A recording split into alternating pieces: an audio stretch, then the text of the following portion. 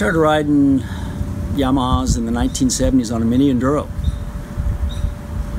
Started racing professionally on a Yamaha in 1984. Rode a TZ250.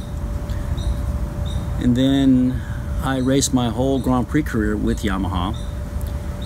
And uh, had a lot of success, won a few races, few championships.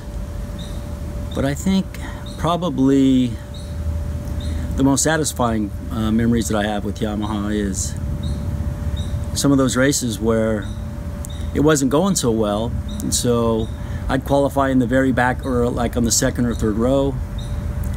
So on Sunday morning after the warm up, we would tear the bike completely down to nothing. And then my Japanese engineers would come in the garage, uh, Sakurada-san and Nakajima-san, and they'd see the bike in that condition they'd go, and they'd just turn white and just turn around and leave the room. And uh, we'd line up in the race, and I knew I'd have a shot on that Yamaha for hopefully getting on the podium. And we did that over 20 times. And that Yamaha was always there for me.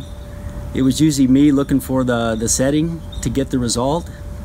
But um, my heart's always been with Yamaha. They've been so good with me throughout my career, after my accident, and even now with MotoAmerica. So thank you very much and happy anniversary.